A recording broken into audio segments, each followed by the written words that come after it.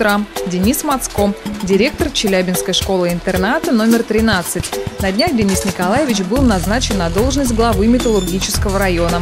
Сегодня свой рабочий день он проведет перед объективом телекамеры. Э, Очень большой вопросов очень много. И хотелось бы, конечно, обходить, скажем, учебный процесс, классы несколько раз в неделю, но на самом деле это не получается. Но раз в неделю стараюсь обязательно посмотреть, чем мы живем и чем занимаемся на уроках. В школе тихо, учебный процесс.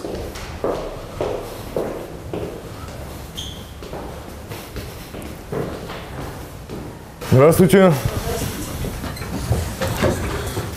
Как живы, здоровы? Хорошо. Ирина Анатольевна, все добрались? Да. То есть весь класс целиком здесь. Да красивые, да аккуратные. Успехи как? Замечательно, зачет принимаем. И сдают?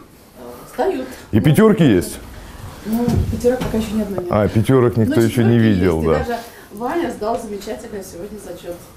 Почему даже Ваня? России. Даже Ваня всегда хорошо сдает, по-моему, зачет. Ну, замечательно сдал. Рельеф, я думаю, что будут Присаживайтесь. Спасибо, здорово. Извините, что сорвали урок немного.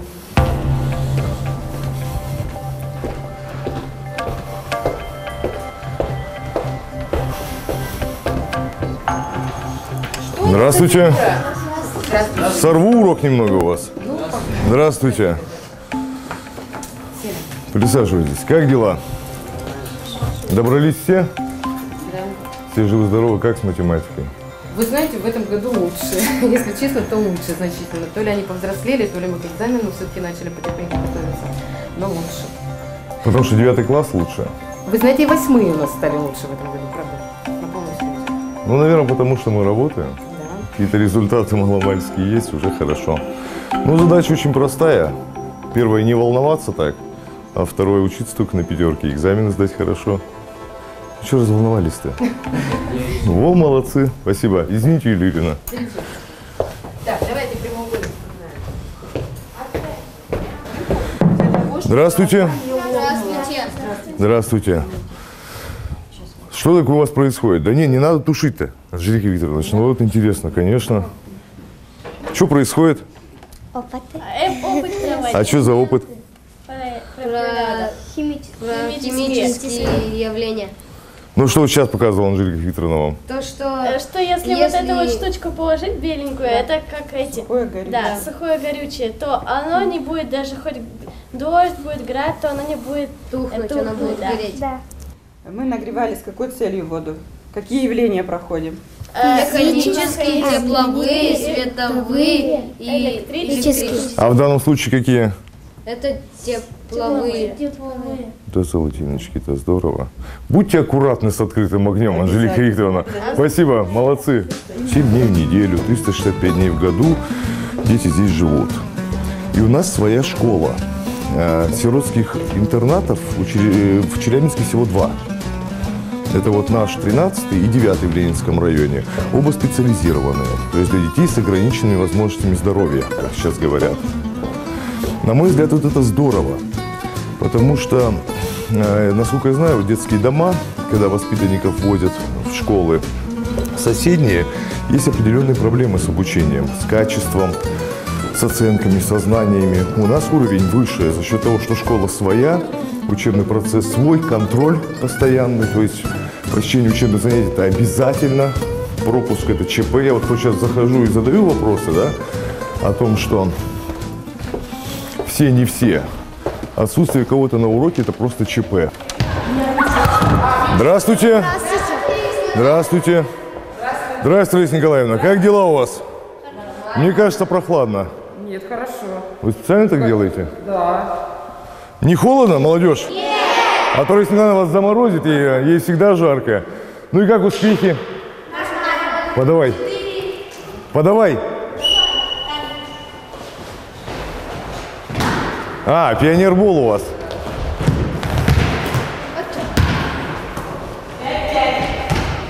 А спортивным туризмом занимался, с пешим, сплавы. Сейчас меньше, сейчас только волейбол один раз в неделю по средам. Такой щадящий вид спорта, чтобы немного себя в форме держать. э, с одной стороны, с другой стороны, ну, позволяет по времени, да, скажем, таким образом. Хотя стараюсь один раз в год по весне, как сплавщики говорят, по большой воде э, сплавиться. Спасибо вам. На втором этаже у нас блок коррекционный, так называемый. Здесь работают узкие специалисты, психологи, логопеды, дефектологи. Ну, учитывая, что у нас специализированное учреждение, то есть очень серьезно должна быть эта психологическая поддержка, коррекционная поддержка. А таких детей усыновляют? Да, берут. И вы знаете, год от года я хочу отметить, благодаря вот политике э, государства, благодаря тому, что идет сейчас такая серьезная кампания, в этом плане детей стали усыновлять больше. Ну, скажем, не усыновлять, а в разные формы семейного воспитания собирать. Опека, попечительство, приемные семьи, усыновление. Это из, Челя... из Челябинска родители? Вы знаете, сейчас тоже тенденция этих лет. Стали приезжать практически со всей России. Есть и Ульяновск, есть и Волгоград, есть и Тюмень, есть и Москва. Здравствуйте, Наталья Михайловна. Почему вы в гордом одиночестве? У нас уехал специалист за детьми в диагностике. Ну, здесь занятий нет сегодня. Сегодня нет. А поехали на что посмотреть, с какой целью? Смена диагноза и дублирование программы обучения. Э, Что подозреваем? Умственная отсталость и дублировать будем первый класс. По-моему, просто замечательно. А с транспортом не получилось. Транспортом нет. Но он туда подъедет.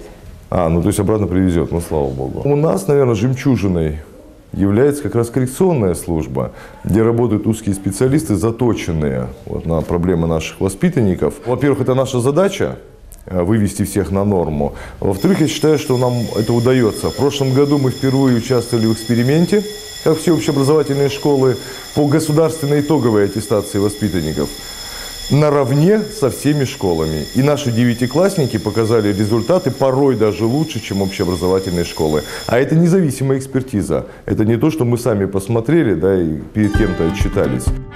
В 13-м интернате дети непростые, работа достаточно сложная. Но, несмотря ни на что, педагоги отсюда практически не увольняются. На 168, если быть точным, рассчитано учреждение воспитанников. То, что касается э, педагогических работников, учителей, воспитателей, мы практически укомплектованы полностью. Э, Пользуясь возможностью, единственно приглашу психологов. Психологу мы готовы на работу принять еще одного, место вакантно. В остальном, что очень важно для учреждения нашего типа, стабильный коллектив. У нас нет текучки, у нас постоянные воспитатели, учителя, коррекционные специалисты. Основной состав – это люди от 10 до 20 лет проработавшие в учреждении. Есть и больше, есть 30 лет, есть кто 30 лет проработал, есть кто 50 лет проработал у нас. А вы сколько? В одном я 11. Дел в учреждении много. Сейчас нужно сходить посмотреть, чем у нас занимаются подрядчики. А подрядчики начали ремонт столовой, кухонных помещений.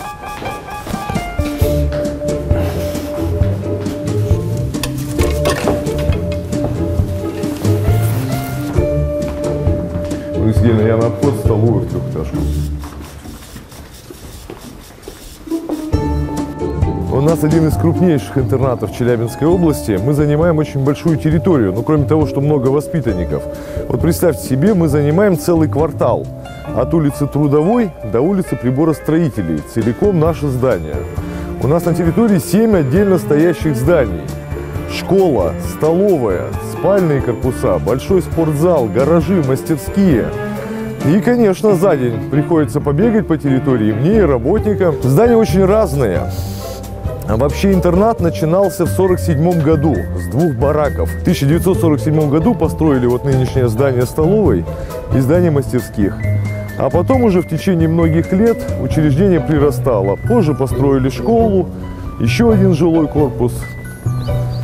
В 1969 году трехэтажный жилой корпус. И вот так постепенно мы разрослись до целого, до целого городка, если хотите. Тебя, Матвей, на подрядчики-то здесь? Работают? Или курят сидят? Работает. Пойдемте глянем, что они там наработали. И много их сегодня? На сейчас только один человек. Один человек, и сколько Да. он будет ковыряться? Если они Здравствуйте. человеку будут Как вас зовут? Долго. Как? Николай, Николай? А почему в одиночестве, где остальные? сейчас будет А ваша задача какая, Николай? демонтаж. И когда вы должны его закончить? Сегодня. Сегодня? А вот эту стену вы вчера начали? То есть за два дня вам нужно это закончить? А потом вы чем занимаетесь? Потом клеить, да? А кафель тоже вы клеите? день дадут. А вам как, какую задачу поставило руководство ваше? То есть вот вы вошли в этот цех, и вы его один делаете? Да. И за сколько вы должны цех закончить? За неделю. За неделю? А другие цеха, другие работники? Тем Матвеевна, мне это совершенно не нравится. Я Николай, вы на меня не обижайтесь, это не к вам вопрос, это вопрос к вашему руководству. Вы ни черта за неделю здесь не закончите, это опять разведется, как это было уже не раз, на месяцы. Ремонтировать в этом году будут не только хозяйственные помещения. Обновят и интерьеры столовой. Здравствуйте. Приятного аппетита. Замерзли? Ну нет, к вечеру будет Ташкент, к вечеру будет хорошо. Делаем косметический ремонт, то есть покраска стен запланирована полностью. По потолку. По потолку снимаем, меняем плитку. И я смотрю, у нас за столько лет уже стулья поизносились. Э, Давайте сделаем так. Э, Столы в хорошем состоянии мы их оставляем. Стулья запланируйте на замену. Пока Денис Мацко вместе с завхозом обсуждали ремонт столовой, приехал и подрядчик. Здравствуйте. Что-то любви у нас не получается. Почему? Потому что что это один Коля и сколько он будет работать? Почему один-то? Он не один. Так я не знаю, почему. Пойдемте, мне покажите. Они спрятались, видимо, я не вижу. Люди еще сегодня будут. Так нет, сказали, в 9 утра все будут. Кто вам сказал? Мне Татьяна Матвеевна сказала. Один Коля? Это один человек. Это один человек. Да. Мы же сами договаривались. Вы мне говорите, сделаем быстро, сделаем хорошо. Но так же дела не делаются. Когда? Мы сейчас с вами неделю прокопаемся, и через неделю что будем друг другу говорить? Есть. Сроки-то есть же. Слушайте, не- нехорошо начинаем, не нравится мне это. Мне-то лишь бы в сроки уложились, чтобы потом не было... Будем стараться укладываться, а как? Будете гарантийные письма нам писать, просим вас сроки перенести, как обычно. Вы знаете, я сторонник того, исходя из опыта, что давайте мы будем с самого начала с вами ругаться, выяснять отношения и делать по уму. Потому что потом пройдет месяц, и вы скажете, бляха-муха, мы не успели. Нет, э, я согласен полностью с вами.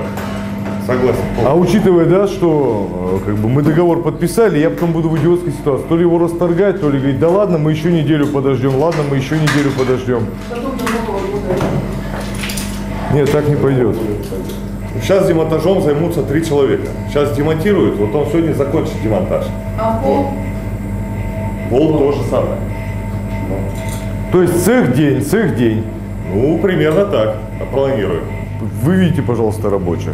Я в Колю верю, я понимаю, что у него все получится. Я знаю, что он мастер. Я Встает чувствую рано, это. приходит. Да, но он Хорошо. один нифига не сделает.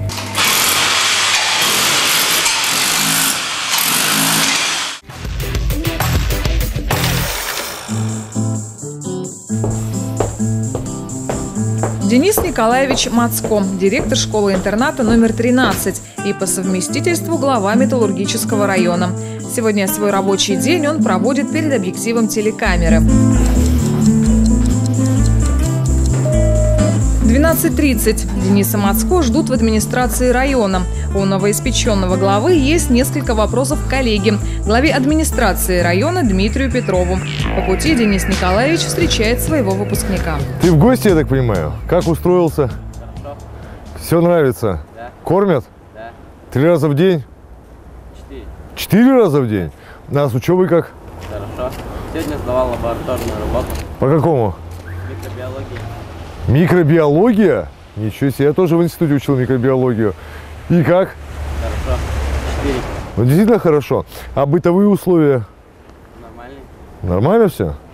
А такого, чтобы кто-то местные приходили или, скажем, старшекурсники обижали? Нет. То есть тоже все в порядке. Но ты имеешь в виду, что есть какие-то проблемы любые, хоть с учебой, там, хоть с кем-то из старшекурсников, сразу сюда.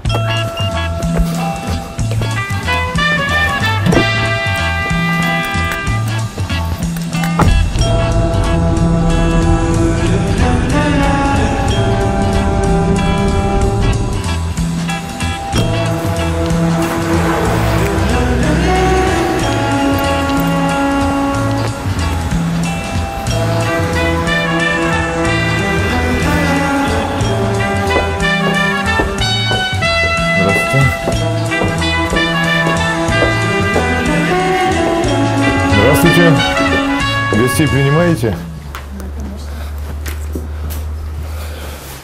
На без 15 договаривались.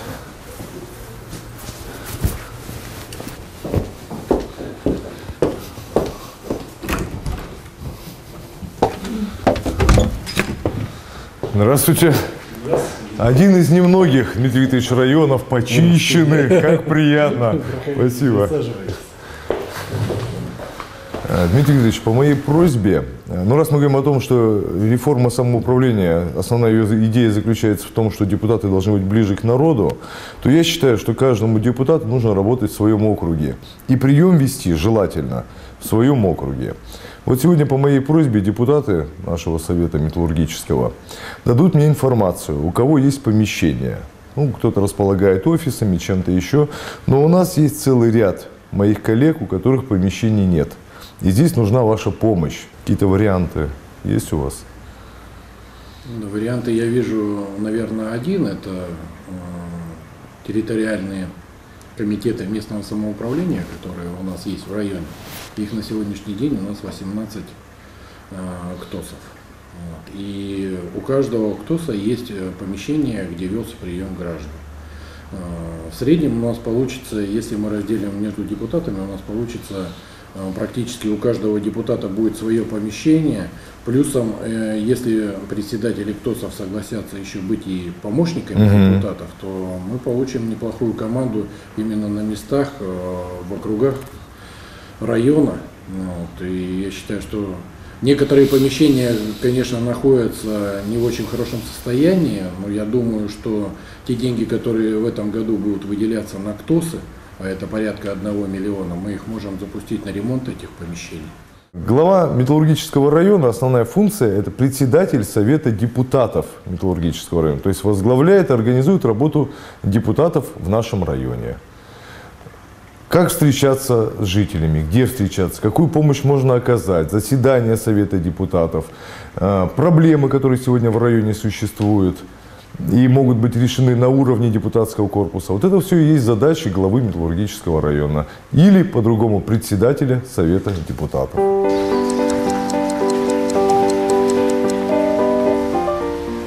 Денис Мацко возвращается в интернат. Сейчас у директора линейка. Здравствуйте. Здравствуйте, спасибо, что вы с нами. Давайте ближе. Здравствуйте, здравствуйте, здравствуйте, здравствуйте, здравствуйте, здравствуйте. Друзья мои, свое будущее нужно связывать только с учебой.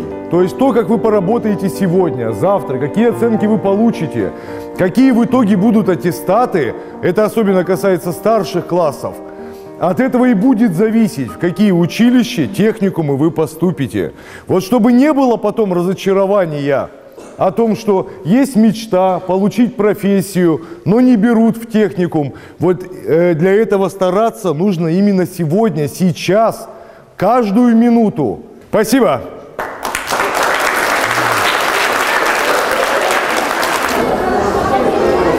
Что ты жуешь-то всю линейку? Что там у тебя во рту? Жвачка. Жвачка? А у тебя полный рот?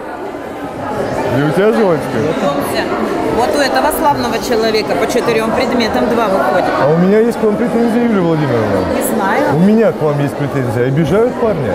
Ополчились все против него? Да? Нам не удалось хорошо поговорить, но на ходу он мне сказал, Денис Николаевич, ополчились все. Обманывают. Нет. Обманывают. Давайте вот Ты сегодня... же физику учишь? Ну, это физика, а это обществознание. Денис Золотой мой, То есть Да не, не только. не ополчились двое. Чего ты такой лысенький? А? Да, полтретьего, полтретьего, полтретьего. Можно будет сегодня, ну, завтра это, уехать? Завтра уроки есть? Нет. То есть ты уроки от, от это, да? Что воспитатели говорят, проблемы? Какие? Я спрашиваю, какие-то проблемы, косяки там, опоздания. Кстати, в прошлое воскресенье, по-моему, опоздал, да? На пять минут. На пять минут? Леша, это недопустимо. Да я думаю, что да.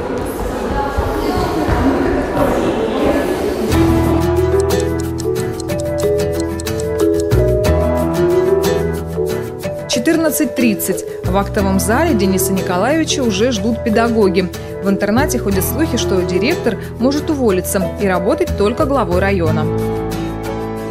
Я уже объявлял и еще раз объявляю. Речь идет о совмещении должностей. То есть я работаю директором 13-го интерната и совмещаю должность главы металлургического района. По целому ряду причин. И мне очень не понравилось, что вот такие небольшие слухи, какие-то обсуждения, понятно, информации нет, да, привели к тому, что у нас началась дестабилизация. Активно начали это слушать, активно начали обсуждать в кулуарах, начали подбирать человека на мое место, соответственно. Ну а как же без этого-то? Елена Ивановна Плотникова, давай ты возьмешься. Да нечего я, давай там. Вера Эмильевна, ты. Ну, я вижу, больше всех смеется, да. Вот что мне не понравилось. Какая, оказывается, зыбкая стабильность, да? Чуть-чуть подшатнули, и это сразу приводит к тому, что начинаются какие-то активные обсуждения, в которые, к сожалению, порой включаются и воспитанники. Что вообще недопустимо. Я понимаю, что шило в мешке не утаишь, да, все все знают. Но я сказал одно, Татьяна Матвеевна меня услышала, Ирина Александровна не передала. Это же игра в глухой телефон. И поэтому Вера Эмильевна уже идет и себя предлагает на мою должность. Игра в глухой телефон, да. Поэтому я вас прошу, давайте так, будем пользоваться только официальной информацией. Для вас официальная информация это то, которую озвучиваю я. Мы с вами продолжаем работать. Соберитесь. Все разговоры прекращаем. Работы полно, проблем всегда полно. Только маленечко сейчас отвернемся, только немножечко руки опустим, и все начнет рушиться. На ваших глазах, да, кто давно работает, эти примеры были. Поэтому снова собрались, консолидировались, разговоры прекратили, детей успокоили и больше эту тему не поднимаем. Сегодня по плану у меня еще обход групп.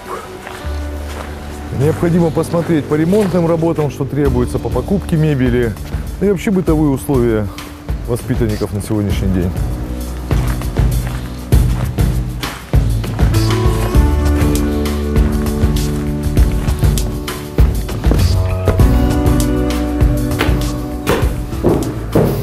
Здравствуйте. Почему не на Сунчасе? А? Что такое? Вось-. Восьмое расслабились? Да, немножко. Здравствуйте. У вас собрание, что ли? Ирина Николаевна сказала, никому с места не вставать, да? Да ладно, телек вы смотрите. Я что, не знаю, как это происходит? Кто-то телек смотрит, кто-то нет. Знаю, кто каже чего стоит, знаю, от кого чего ждать, знаю, какие за кем проблемы. Им-то порой кажется, что у меня там кабинет в школе, они тут нахулиганили втихаря, а я даже представления не имею, о чем речь. Так вот, ошибаются. Конечно, знаю о каждом. Да, Андрюха? Взял у нас Андрюха и собрался в гости, и уехал. И мы тут на ушах стояли два дня, посидели, чуть с ума не посходили все. Вот такое бывает. Наказали. Ну как его накажешь? Посмотри, улыбнись своей знаменитой улыбкой. Ну как его накажешь, да? Вот наши девочки, И наши классные руководители. да, наш классный руководитель. Делятся-то сами, парни там, девчонки здесь сидят. Ну, иногда делятся, иногда нет. У них по телевизору совсем вот разное. м, А, интересы разные, интересно, поэтому, да. буквально разные, да. Это сейчас Дениса Николаевича дети уважают и любят, но так было не всегда. Мы сначала, если честно, не хотели нового директора себе.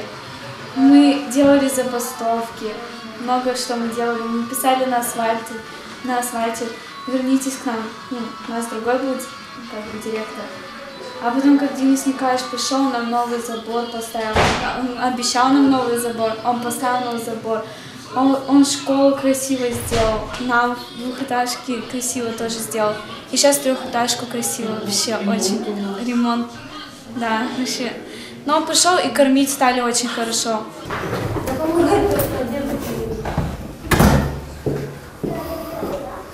Есть кто живой? Здравствуйте, Лариса Сергеевна. Как дела? Здравствуйте, здравствуйте, здравствуйте, здравствуйте, здравствуйте, здравствуйте, здравствуйте, здравствуйте. Что самое главное для малюсик? Обнимашки.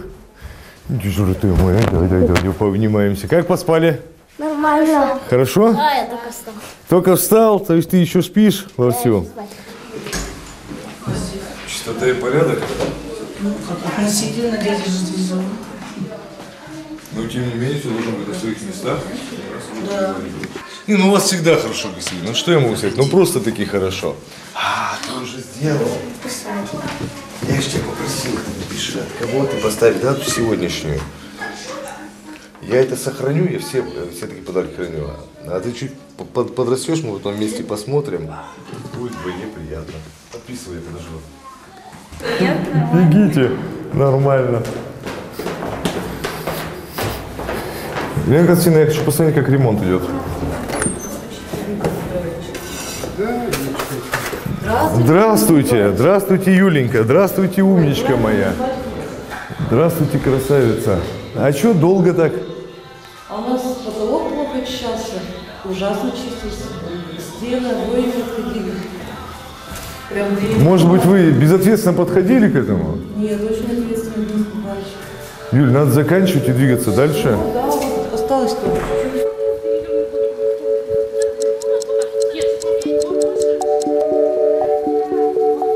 17.30. Рабочий день подходит к концу, но не у директора Дениса Мацко. Поскольку сегодня целый день он был со съемочной группой, коллеги и воспитанники стеснялись обратиться к нему со своими проблемами. Обычно дети и учителя приходят к нашему герою в течение всего дня. Сейчас, говорит Денис Николаевич, как только камера выключится, начнется прием по личным вопросам. Очень сложно уходить домой, потому что мы день проживаем вместе. Вот, э, если хотите, в одной семье, без пафоса, да, и, и э, общаемся так, что вот мы одна семья, и проблемы эти решаем вместе, да, и помогаем друг другу. И они же нам помогают, они тоже нас воспитывают, взрослых я имею в виду, ребята наши. И вот так мы день живем насыщенно, на отмашь, если хотите. А вечером, когда уходишь домой, мне кажется, в этом есть какой-то элемент предательства, что ли, по отношению к детям. Мы же вместе, мы же вот одна семья, значит дальше должны быть вместе. В какой-то момент наступает время, когда мы пошли в какую-то другую жизнь, а они в этой жизни остались. Вот что-то вот здесь вот меня гнетет немного в этой ситуации.